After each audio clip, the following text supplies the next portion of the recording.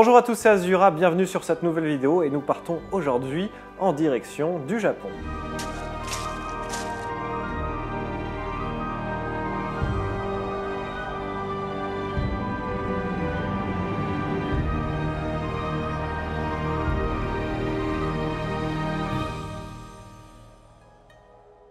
Kunyomi est le mythe fondateur de la création du monde et de l'archipel nippon. Signifiant littéralement naissance du pays en japonais, Kunyomi fait partie des plus anciens mythes du pays.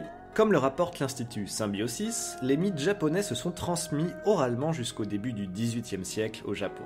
Toutefois, la cour impériale japonaise aurait commandé la mise sur papier de la mythologie de l'Empire en 712 après Jésus-Christ.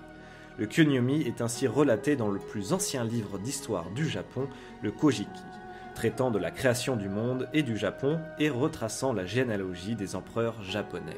Comme vous pourrez le constater, la mythologie japonaise offre des similitudes assez étonnantes avec la mythologie occidentale, notamment son côté sexiste qui dresse un parallèle avec l'histoire d'Adam et Ève. En effet, il est intéressant de noter que comme dans les mythes créateurs chrétiens, la création du monde est entachée par un péché originel commis par la femme.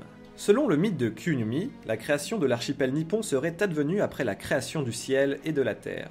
Après ce grand Big Bang, Izanagi no Mikoto, Auguste mâle, et Izanami, Auguste femelle, seraient descendus du ciel à bord d'un grand pont flottant armé d'un tamaboko, une hallebarde céleste ornée de joyaux. Une fois sur Terre, Izanagi aurait remué les océans et en sortant sa lance de l'eau, des gouttes tombées de l'extrémité de son arme auraient formé une première île. Onogorojima, le pilier du centre de la Terre. Une fois l'île constituée, le mythe raconte que Izanagi et Izanami descendirent sur l'île pour y construire un merveilleux palais et y vivre paisiblement jusqu'au jour où ils se rendirent compte que leur corps était formé différemment. À ce moment, Izanani dit à Izanagi Mon corps s'est formé progressivement, et il y a un endroit où il ne s'est pas formé complètement. Izanagi répondit Étrange, moi mon corps s'est formé progressivement et il y a un endroit où il s'est trop formé. Je pense que nous pourrions engendrer notre pays en comblant l'endroit de ton corps qui ne s'est pas assez formé avec l'endroit du mien qui s'est trop formé. Bon, vous l'avez compris, hein, ils voulaient coucher ensemble et Izanami consentit à l'union de leur chair pour engendrer la grande nation japonaise. Avant de s'unir, Izanami s'approcha d'Izanagi, le louant de sa beauté. Izanagi fut séduit le couple céleste engendra un premier fils qui naquit quelque temps plus tard sans eau ni moelle osseuse. Déconcertés, Izanami et Izanagi cherchèrent à trouver réponse à cette mystérieuse naissance. Ils décidèrent de prendre conseil auprès des autres divinités célestes.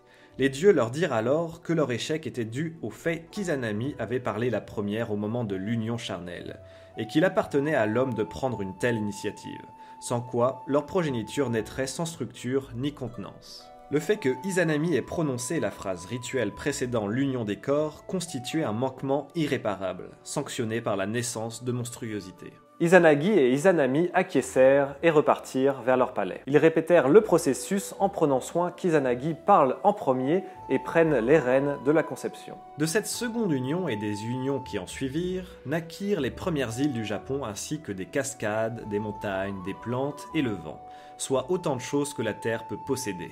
Au Japon, il est intéressant de savoir qu'il existe autant de divinités qu'il existe de choses. Chaque chose possède sa divinité, en d'autres mots. Les kami désignent généralement des dieux, mais se réfèrent à tous les éléments sacrés étant ou pouvant être vénérés.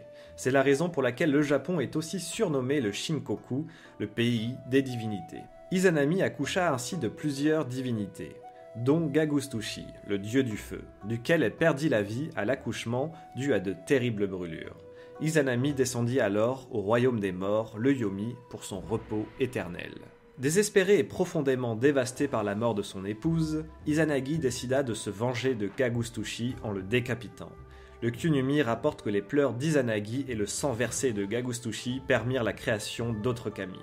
Suite à cet épisode sanglant, Izanagi décida d'aller chercher sa femme dans le royaume des morts, convaincu qu'il pourrait la tirer de là sans problème. Quand il arriva au royaume, il était malheureusement trop tard. Izanami avait déjà goûté à la nourriture du Yomi. Elle était condamnée à en être prisonnière pour l'éternité. Izanagi supplia alors les dieux, mais rien n'y fit. Ses doléances furent vaines. Il tenta bien de forcer la porte du royaume, mais à la vue de sa femme fourmillant d'asticots, il comprit qu'il était trop tard. Choqué par l'attitude de son mari et son dégoût face à son apparence, Izanami se lança à sa poursuite et obstrua la sortie du royaume avec un énorme rocher. Elle lui dit que pour se venger de son attitude, elle étranglerait 1000 personnes par jour jusqu'à la fin des temps. Izanagi lui répondit que pour compenser autant de morts, il veillerait à ce que 1500 personnes naquissent chaque jour. C'est ainsi que serait né le cycle de la vie et de la mort selon le Kunyomi. Encore aujourd'hui, l'union de ce couple divin est symbolisée par les deux rochers de Funtamigaura au Japon, près du bois sacré d'Ise, liés par une grosse corde de paille changée tous les ans le 5 janvier pendant une cérémonie sacrée.